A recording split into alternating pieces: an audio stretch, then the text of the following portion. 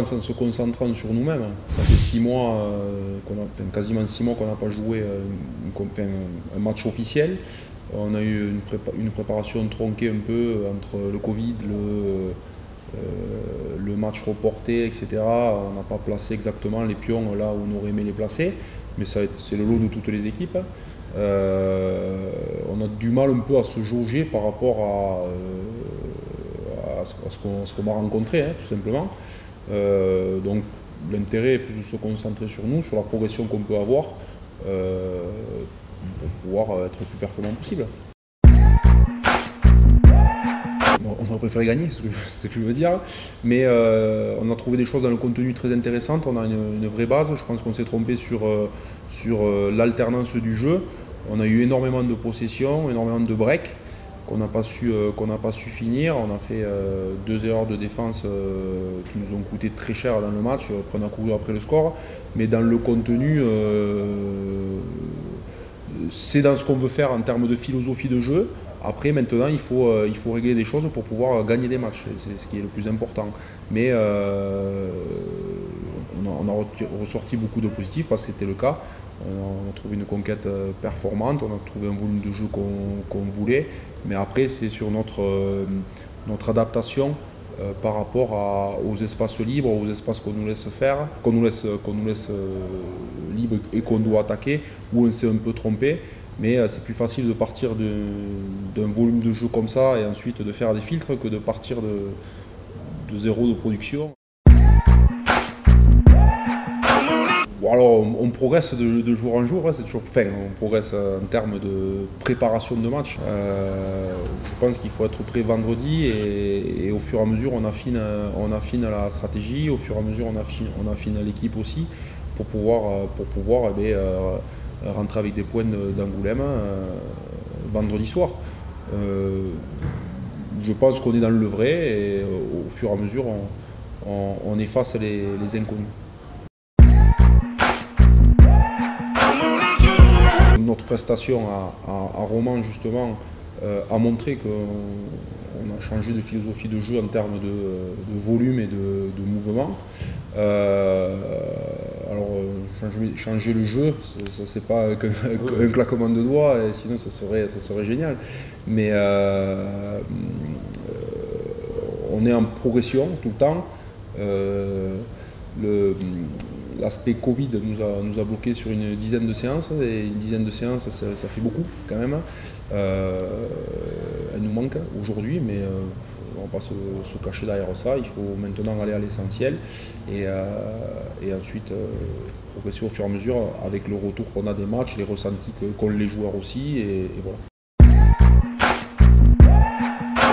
Ça demande de, beaucoup d'adaptation quand même. C'est pas quelque chose qui, est, voilà, qui se fait du jour au lendemain. Donc euh, c'est bien qu'on a eu le temps de, se préparer dessus, de se tester, de faire quelques mêlées aussi, parce que c'est vrai qu'il faut, faut, trouver des choses différentes. Je vais prendre un exemple, la taille des crampons. Euh, on ne joue pas avec les mêmes crampons sur un terrain synthétique que sur un terrain en herbe. Euh, voilà, il faut trouver, faut trouver les appuis ne sont pas les mêmes. Après, euh, quand même, quand même le terrain il rebondit bien, donc on peut quand même mettre beaucoup d'impact. Pour nous, l'impact est déterminant, et donc c'est vrai que vrai que bah, avoir des appuis stables, avoir, avoir bah, s'être habitué, on va dire, à, à cette pelouse-là, c'est quand c'est quand même bien. Peux parler à titre personnel, par exemple, c'est que je fais comme si les choses étaient normales, c'est-à-dire que voilà, on s'adapte, on est tous dans le même bateau, donc euh, déjà il n'y a pas de, côté on va dire inquiétude, le côté sanitaire, c'est vrai qu'on peut-être qu'on y pense de temps en temps, mais c'est pas quelque chose qui nous atteint euh, loin de là. On fait tous en sorte de respecter les mesures sanitaires euh, pour que ça se passe, ça se passe bien. Et sur le côté entraînement, ben, on, on, fait vraiment, on fait de semaine en semaine. Il y a eu la petite période où on a été un peu perturbé mais ça nous a permis de travailler autre chose, ça nous a permis de travailler des choses plus techniques, des choses euh, qu'on n'a pas forcément le temps de travailler et que là on se retrouve peut-être un peu par obligation, mais finalement on en, tire du positif. Et je pense que tout ça fait que ben, collectivement on, va vers, ce qu'on veut, faire cette saison. Il faut que ça devienne une force chez nous, d'où euh, le changement de philosophie de jeu dont on a parlé euh, précédemment. Euh, je pense que s'entraîner tous les jours va développer autre chose chez nous en termes de vitesse, en termes de, volume de jeu sur le temps d'un match, qui peut devenir un avantage et qui doit devenir un avantage chez nous pour pouvoir faire de ce terrain une force pour nous. Depuis le départ, on fait beaucoup de choses ensemble.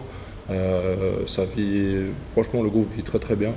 Euh, voilà, on essaie de rester quand même entre nous, mais ça, crée beaucoup de liens et c'est vrai que bah, ça donne envie en fait bah, autant, de s'entraîner ensemble que d'être en dehors ensemble. Je pense que c'est ce qui fait que bah, on peut, on si je, peux dire, euh, voilà, et monter, monter un cap collectivement. Oui et non, honnêtement, on ne s'est pas focalisé sur, euh, sur quelque chose de, très précis. On était content des joueurs, euh, de la grosse base qu'on avait de, joueurs. Ensuite, on a, on a affiné avec, euh, des profils. J'ai trouvé que c'était des, Français. je ne veux pas dire tant mieux parce que chacun amène, son, lot son lot de comment te dire de ouais, de vécu et de culture. Ouais, de, culture. Euh, c'est avéré qu'on a beaucoup de francophones, de français et de francophones, parce qu'on a Ikero Forbes mm. et, Jerry Borotou qui, qui, parlent aussi bien que, vous et moi. Euh, qui, fait que malgré tout, il y a une, homogénéité dont a parlé, euh, dont on parlait Oleg qui, qui, est, qui est facilitée. Quoi. Donc, donc voilà, après, une volonté spéciale, honnêtement, non. Pense qu'on va faire un peu plus de bus. on va faire un peu plus de bus, honnêtement, mais euh, c'est normal parce qu'il faut que chacun fasse des efforts. Euh, mais ça ne veut pas dire qu'on sera dans des, mauvaises conditions. Mais non, bien sûr, bien sûr. Euh, ben, je pense que comme tous les clubs, hein, on, est, impacté, mais on a de la chance qu'il y, ait aussi des, partenaires et des, supporters, des abonnés qui, qui quand même répondent énormément présents pour pouvoir avoir euh, une base solide et qu'on puisse, euh, puisse sereinement à, lancer. Et ça, c'était capital pour, euh, pour nous. Et voilà, après, ça sera à nous de, le, rendre, de le rendre par des performances. ça sera donc Ludo Rado qui sera capitaine cette saison avec Grégory Aneta et Nicolas Bézi. Voilà, ce seront les trois capitaines pour, pour, démarrer l'année. Il a, il a, il a du, leadership, il a une expérience au-dessus. Euh, voilà, quelqu'un qui a les épaules larges aussi, c'est pas, pas faire un jour aux autres, loin de là. Euh, mais euh, j'aimerais que Greg se concentre vraiment sur, sur le Grégorien état qu'il est, combattant, combattant au feu de l'action. et Nicolas représente plus le, l'initiative, le jeu, euh, le jeu euh, qu'on aimerait produire. Donc, euh, donc voilà, et puis Nicolas a pris aussi la saison dernière, vraiment s'est imposé et a fait des belles performances. Donc, donc voilà, je pense que c'est ces trois leaders naturels qui, sont ressortis du groupe et qui, et qui tiendront la barque. J'ai aucun doute avec ça, à l'image de tout un groupe derrière qui, est très solide et j'ai aucun souci.